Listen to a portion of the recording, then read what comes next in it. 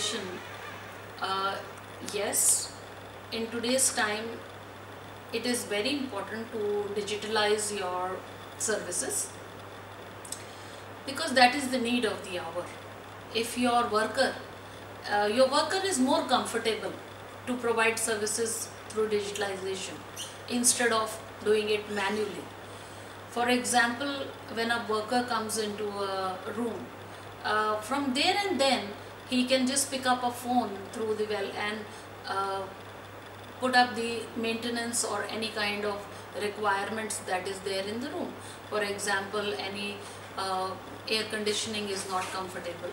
For that matter, lighting is not enough. Or if there is any sound that is coming, or if he notices anything in the bathroom which needs to be fixed right, from there itself he can just ring up and pick up a phone and put the codes and the messages pass through the system and the carpenter, painter, etc. whosoever need to come, they come into the room. Another very good thing he does is through the digitalization that he uh, puts in the code that room has been checked and serviced. So it goes, message automatically gets relay on Opera system to the front office that this room has been checked and is vacant. So they don't have to ring time and again like they used to do in past that is the room clean, is the room clean. So no more, no more those callings. And uh, if he notices anything which is uh, not correct in the room, for example, any valuables are lying or anything that is not correct and something which he notices, he puts in a code and automatically the uh, alarm raises at the duty manager or to the security and they come into the room. So it has helped him by calling, not calling five times to five different people through his, uh, if we have found anything in the room, uh, there and then the app, he connects with the customer. He has his number and he immediately tells him that you, by mistake your item is left in the room. So the customer says that yes, keep it or I'm coming back or I'm, I'm sending my representative, please hand it over. So sometime in even the smallest of important things like chargers, things like he's forgotten his cell phone, he's forgotten his laptop or some iPad connecting uh, equipment or he's left his some digital diary or some book, he can be immediately handed over to him. Another thing which he does is the inventory control. Supervisors have are able to uh, write in their uh, iPad or their digitalized phones, they are able to capture that what kind of a defect or what kind of an items that need to be replaced in the room and forward it. Uh, so these kind of new changes that has come because of the digitalization and it is helping our uh, system.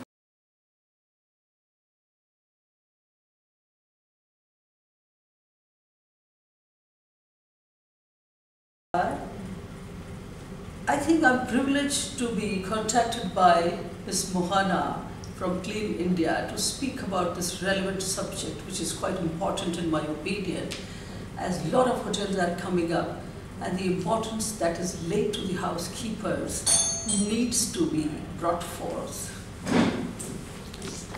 I have been associated with the hospitality industry for about over 25 years to begin with the Taj Group of Hotels and now with the Lalit Group of Hotels. And in my opinion, housekeeping plays a crucial role.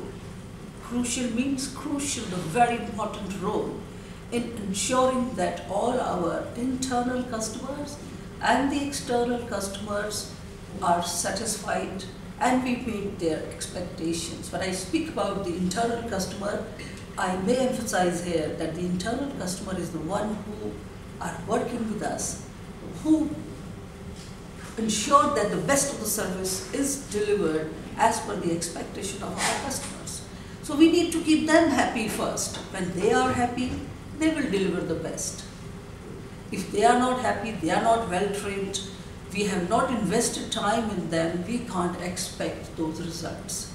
So I think it's a passion in itself. The leader is the one, a true leader is the one who ensures that his or her staff is motivated, trained, guided, supported at all times to bring that desirable result. That is what is all about housekeeping. And housekeeping is not something that you learn from the hotels. You learn it from your own mother. You learn it from your father. It depends from what background you have been. A good housekeeper is the one who knows how to keep her office clean because it starts from the office, from the desk area, the stores, the offices. Then it gradually goes up to the floor levels. So I think it is a beautiful field and many people should opt for housekeeping because you are the center of attraction whether the customer is coming or your staff is there with you. So we should feel proud about it, not that it is not interesting. Interesting in life is what? Anything can be interesting provided you are passionate about it. That's the most interesting thing. Speak about housekeeping. From 1978 onwards, those were the days when I was working in a palace. And you see, each palace room was to be operated with a manual key. It was a Maharaja's palace. So I used to go around with a bunch of keys and opening each room, but I never felt tired. That kind of a passion we had. I was opening each room, checking it, putting things in place, myself not waiting or instructing, oh come on, change this. I would do little, little things myself. This is the way how I connected very well with my people. So from those times to today, we have everything so simple, so easy. We are more towards the digitalized methods of working. For sure, I would say it adds to productivity and growth. We need to. We need to learn and move on with the new technologies because it is very helpful. Also helpful because in the front office when a customer comes, the repeat client when he comes, everything is saved here, the data for his preferences, likes and dislikes, so that we can serve him better. Before his arrival or check into the room, all those preferences are there in the room itself. So in my opinion, all these things are helpful. We should not be very stubborn, no, we cannot work that way. We should move with the changing trends, the changing times, and learn because life is a learning at every step, at every stage. We cannot say we are the best. Never have that because the ego stops the growth. We should be free and open to learning.